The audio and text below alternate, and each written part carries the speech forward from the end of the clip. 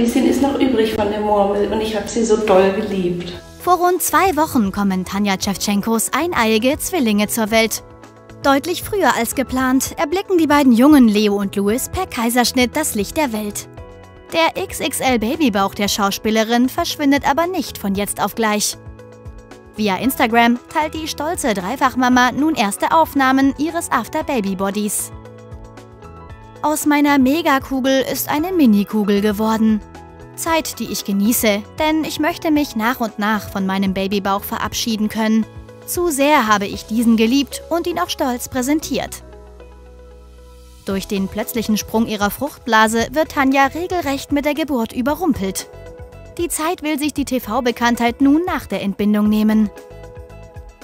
Nachwehen inklusive habe ich mir jeden Tag ein paar Minuten Zeit genommen, um den Bauch beim Schrumpfen zu beobachten. Die Gebärmutter braucht Zeit, ein Organ, was nicht viel größer als eine kleine Birne ist, dehnte sich aus, um zwei Kinder nebst Fruchtwasser und Plazenta zu tragen. Keine leichte Aufgabe, immerhin muss Tanjas Gebärmutter am Ende stolze 6 Kilo Gewicht stemmen. Obwohl Tanja bei der Geburt erst in der 34. Schwangerschaftswoche ist, sind sie und ihre beiden Sprösslinge inzwischen wohlauf. Auch Tanjas Fans sind begeistert, wie schnell die Düsseldorferin wieder auf den Beinen ist. Viele von euch haben gesagt, wie machst du das? Du siehst schon wieder so gut aus und so weiter.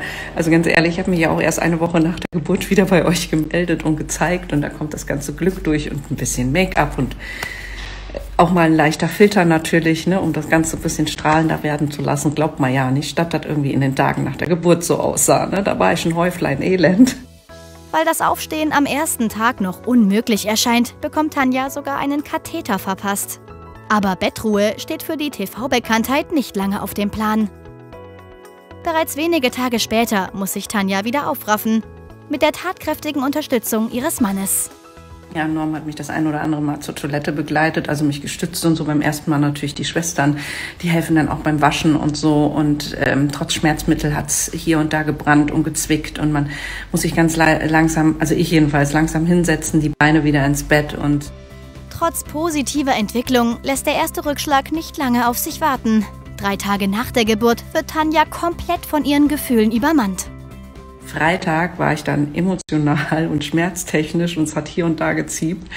Ähm, echt am Ende und hatte den fetten Babyblues. Ne? Da fallen ja dann auch noch die Hormone, also die Hormone verändern sich auch noch und, ähm, und dann ging es mir an diesem Freitag richtig nicht gut. Neben immer wiederkehrender Übelkeit überkommen Tanja auch plötzliche Heulanfälle.